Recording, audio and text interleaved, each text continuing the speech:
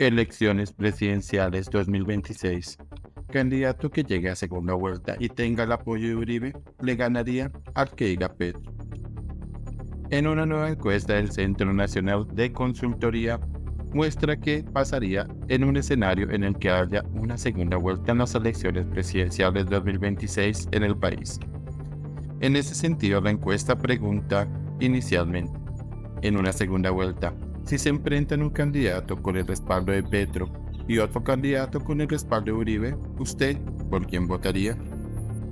Como resultado se evidencia que el candidato que diga Álvaro Uribe le ganaría por una amplia ventaja al que apoye Gustavo Petro.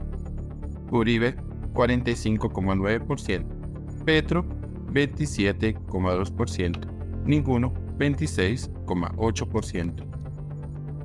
Cabe resaltar que dichos resultados dan cuenta del inconformismo que hay por parte de los colombianos con la gestión que ha tenido el gobierno del presidente Petro, en el que encuestas como Guarumo y Ecoanalítica fue calificado negativamente por la mayoría de los participantes. Un 39,7% consideró su gestión como pésima, mientras que un 26,8% la calificó como mala. En contraste, un 25,7% de los consultados calificó su gestión como buena y apenas un 4,9% la valoró como excelente. Otros datos que muestran la encuesta sobre intención de voto. De otro lado, la encuesta de la CNC aborda temas sobre las problemáticas que hay en Colombia. Una de las preguntas es, ¿cuáles son los dos principales problemas del país?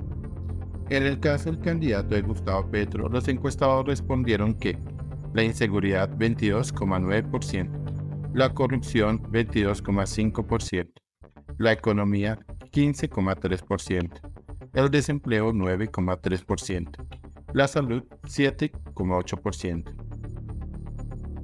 En el caso del candidato de Álvaro Uribe, los participantes respondieron que la inseguridad 31,6%, la corrupción 13,9%, la salud 11,2%, el desempleo 9,3% y la economía 9,2%. Estos resultados evidencian que lo que más le preocupa a los colombianos sigue siendo la problemática de seguridad que se vive en diferentes zonas y con un porcentaje muy parecido las personas que respaldan a Petro manifiestan su preocupación por la corrupción que hay en el país. Finalmente, dichos resultados confirman que la mayoría de personas siguen manifestando su inconformismo de cómo se ha trabajado en el gobierno Petro y, de acuerdo con los datos de la encuesta, muy posiblemente se verá un cambio radical en las próximas elecciones presidenciales de Colombia.